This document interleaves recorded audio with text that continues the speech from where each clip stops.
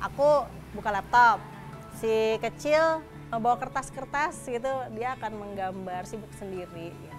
jadi bayangkan dia juga ikut bekerja saat eh, anak-anak lagi sekolah langsung pulang ke rumah ketik-ketik sesuatu bikin sesuatu.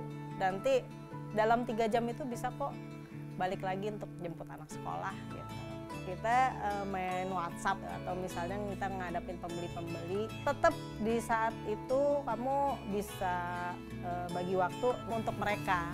Sebisa mungkin punya space sendiri dan punya jam kerja dan komunikasikan itu ke keluarga jam segini uh, ibu kerja gitu bisa diganggu gitu kecuali emergensi. Ketika aku kerja ya berarti memang anakku harus dimomong sama si mbak gitu. Ya itu mungkin seperti ibu yang bekerja pada umumnya gitu jadi realistis aja